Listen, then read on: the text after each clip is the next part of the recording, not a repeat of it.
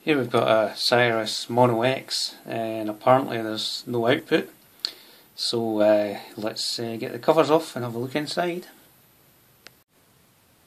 Here we are inside this uh, Mono X amplifier then and I have powered it up and uh, as you can see I've got a, a DMM uh, connected to the loudspeaker outputs and I'm reading 63 volts which uh, might be a problem for most loudspeakers.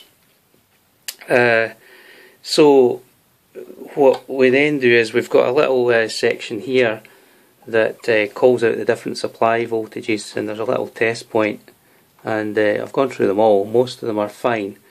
Um, but there's one here this this I'm reading 91 volts and that should be uh, plus 70 and then the one next to it is reading near zero and that should be minus 70 so the plus and minus 70 volt rails are uh, they've gone wrong. Uh, and these are related to this uh, these two bridge rectifiers here smoothing capacitors and then these regulators here. These are the plus and minus 70 volt regulators. And I can see on this one here this is the minus 70 which is reading zero. And I can see that that capacitor's gone leaky. Um, and I have done some other tests before I started the camera and uh, if we go onto the resistance range and then if I check on the output of uh, this is the plus 70 bridge rectifier and that's a dead short so either that either that capacitor is short um, or the regulator's gone wrong. Um, either way, you know, we're going to have to take this board out now and uh, uh, have a look at what's going on. So that's the next stage. Let's get the board out. Here we are then, we've had the main board out of this amplifier. Uh, always a bit of a challenge with these mono block amplifiers because of the way they secure the the, the power transistors. I've, I've never liked this arrangement. Um, but you know they've been doing it for 20 something years, so it, I guess it works.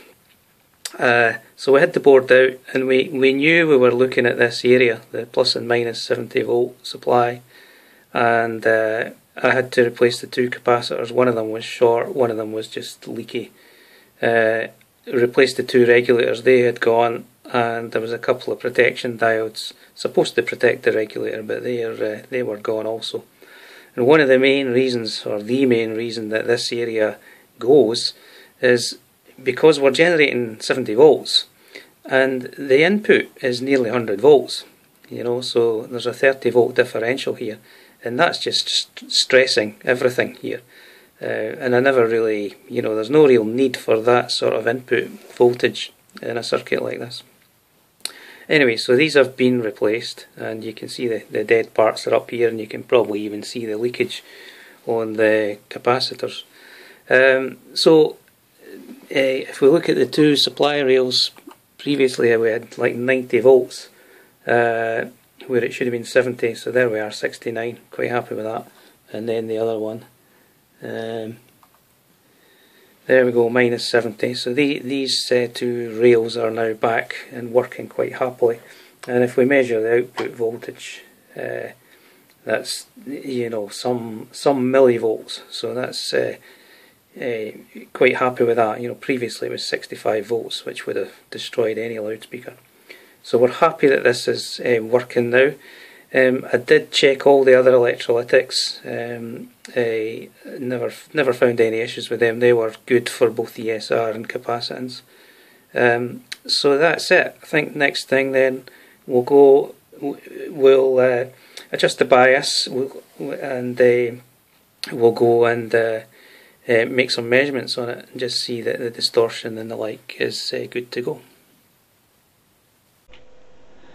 So here we are with the Mono X uh, amplifier put back together and I'm just outputting 10 watts here. This is uh, plus 20 dBV that's 10 watts. Uh, and I've adjusted the first stage harmonic balance THD balance. Uh, and the harmonics look fine. My THD looks fine so I'm quite happy that this amplifier is eh, back to good working state